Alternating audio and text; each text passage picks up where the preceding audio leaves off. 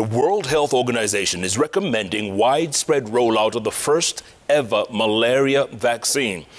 In a move, experts could hope to save tens of thousands of children's lives in Africa. Now, the RTS,S vaccine, also known as Mosquirix, Mosquirix will be used among children in sub-Saharan Africa and in other regions with moderate to high malaria transmission.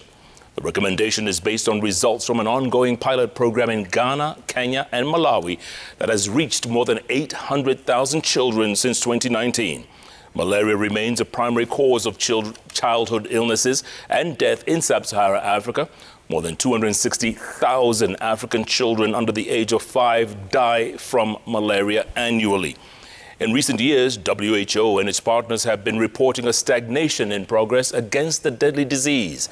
Now, the vaccine should be provided in a schedule of four doses in children from five months of age for the reduction of malaria disease and burden. There are more than 100 types of malaria parasites. The RTS,S vaccine targets one that is most deadly and most common in Africa. Vaccine this long awaited malaria vaccine is a breakthrough for science, child health, and malaria control.